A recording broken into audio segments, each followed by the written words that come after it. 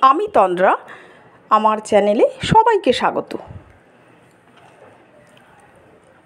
আমি দু রকমের চিকেনের রেসিপি করেছিলাম।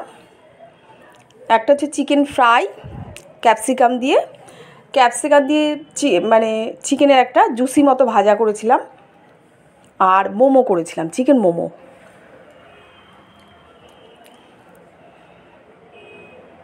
আমি চিকেন ফ্রাই উইথ ক্যাপসিকাম। এই রেসিপিটাই শেয়ার করছি।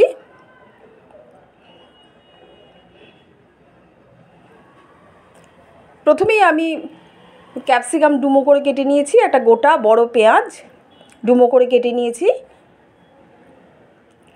আর চিকেনটাকে পেঁয়াজ, রসুন, আদা, লঙ্কা বাটা দিয়ে ম্যারিনেট করে রেখে দিয়েছি। আধ ঘণ্টার মতো ছিল ওটা ম্যারিনেট করা।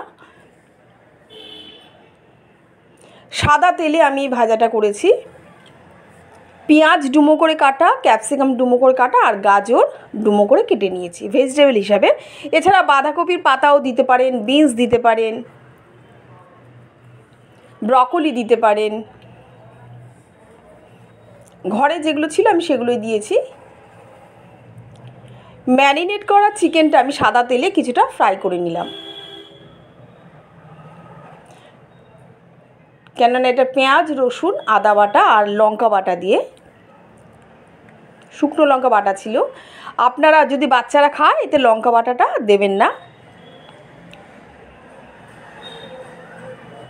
আর এই রেসিপিটা হলুদ দেব না। একটু সাদাটে টাইপের হয়, ভাজা। Chicken fry with capsicum. Vegetable দিয়ে চিকেনের একটা ভাজা মতো। রুটি দিয়ে দারুণ খেতে লাগে এটা। বা শুধু বিকেলের আড্ডায় শুধুও খাওয়া যায়। প্রথমে আমি চিকেনের সাথে গাজরগুলো ডুমো করে কাটা ছিল দিয়ে দিয়েছি। যেহেতু গাজরটা সেদ্ধ হতে একটু সময় লাগে। গাজরটা চিকেনের সাথে ভাজা ভাজা করে নিলাম মোটামুটি। আর চিকেনের মধ্যে এক্সট্রা কোনো জল আমি দেব না। পেঁয়াজ, রসুন, আদার যে একটা জুস আছে, তাতেই কিন্তু চিকেনটা ভাজা ভাজা হবে। আর লো সিমে এটা আমি ঢাকা দিয়ে দিয়ে ভাজাটা করব। গাজরটা চিকেনের সাথে কিছুটা ভাজা হলেই পেঁয়াজটা ডুমো করে কাটা আছে, আমি সেগুলো দিয়ে দিলাম।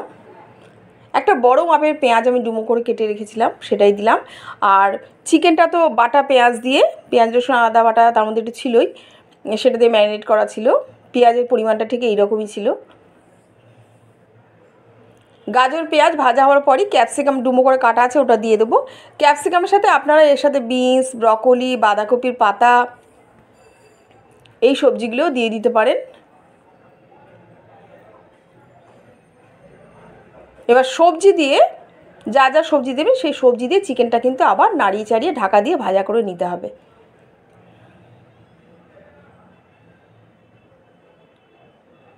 বাচ্চাদের খুব টেস্টি খাবার এটা। আমার ঘরে তো বাচ্চারা প্রচণ্ড ভালোবাসে এগুলো। শুধু খেয়ে নেয় বা রুটি দিয়ে, রাতে রুটি দিয়েও আমি এটা মাঝে মাঝে করে দিই।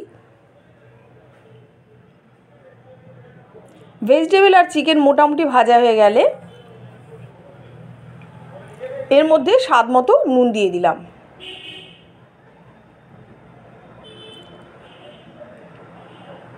নুনের পরিমাণটা নিজেরা বুঝে দেবে। যেহেতু রুটি দিয়ে খেলে একটু কম নুন হলেই ভালো হয়। রুটি বা পরোটা দিয়ে দারুণ লাগে।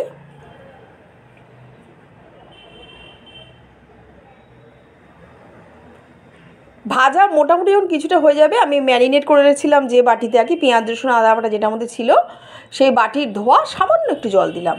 কেননা গাজরটা আছে তো, ওটা চাপা দিয়ে একটু সেদ্ধ হতে হবে। ঢাকনা চাপিয়ে দিলাম। পাঁচ থেকে সাত মিনিট এটা ঢাকা দিয়ে রেখেছিলাম।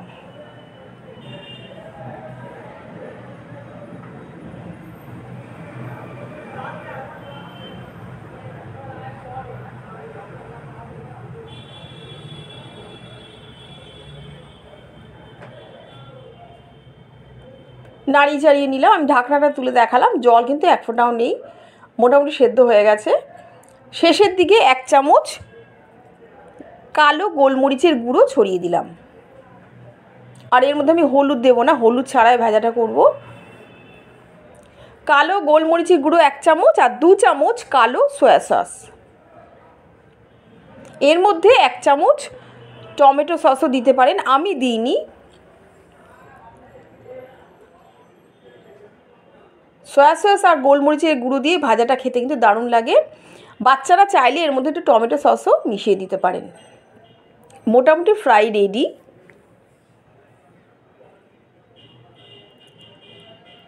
chicken fry with vegetables capsicum যাই বলুন, এইটাই ছিল ফাইনাল লুক অবশ্যই বাড়িতে একবার করবেন।